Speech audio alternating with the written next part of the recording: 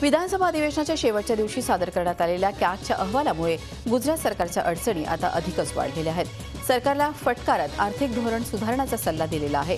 याशिवाय इसा रिलायन्स आणि अदाणी ग्रुप सारख्या कंपन्यांना फायदा मिळवून देण्यासाठी राज्याचं पंधरा हजार कोटींचं नुकसान केल्याचा ठपका कॅगनं ठेवला आहे उत्तर प्रदेशातील सहारनपूरमध्ये आजही तणावपूर्ण वातावरण आहे. सहारनपूरच्या अनेक भागात कर्फ्यू लावण्यात आला होता. शहरातील शाळा कॉलेजेसला तीस जुलैपर्यंत सुट्टी जाहीर करण्यात आली आहे. हिंसा भडकवण्याच्या आरोपावरून चोवीस जणांना अटक करण्यात आली आहे. कालच्या हिंसाचारात तीन जणांचा मृत्यू झाला आहे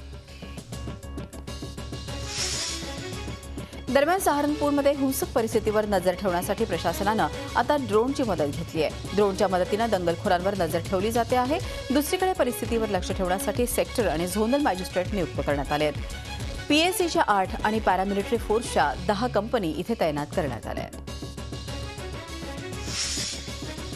सहारनपूरमधल्या परिस्थितीसंदर्भात माहिती देण्यासाठी गृहमंत्री राजनाथ सिंग यांनी पंतप्रधान नरेंद्र मोदींची भेट दिली. दोन दिवसांपासून असलेल्या परिस्थितीची माहिती यावेळी गृहमंत्र्यांनी पंतप्रधानांना दिली. तसंच मुरादाबादमधील परिस्थितीची माहितीही त्यांनी पंतप्रधानांना दिली. सहारनपूरमधील हिंसाचाराचा निषेध करण्यासाठी शीख समुदायानं जम्मूमध्ये आंदोलन केलं. यावेळी आंदोलकांनी रस्त्यावर टायर जाळून संताप व्यक्त केला.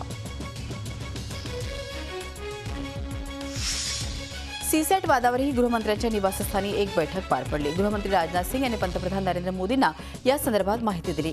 या बैठकीत अरुण जेटली जितेंद्र सिंग यांच्यासह पीएमओचे अधिकारी सामील झाले होते. बिहार विधानसभेच्या दहा जागांसाठी होणाऱ्या निवडणुकीसाठी जेडीयू राजद आणि काँग्रेसमध्ये जागा वाटप झालाय. जेडीयू आणि राजद प्रत्येकी चार जागा लढवणार असून काँग्रेस दोन जागांवर निवडणूक लढवेल.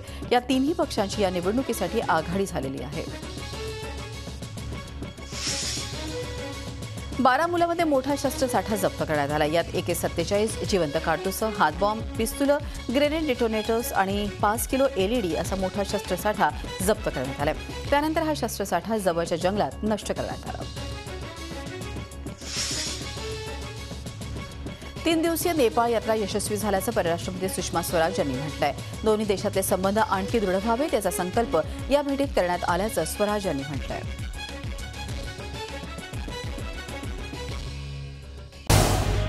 झी चोवीस तास. रहा एक पाऊल पुढे.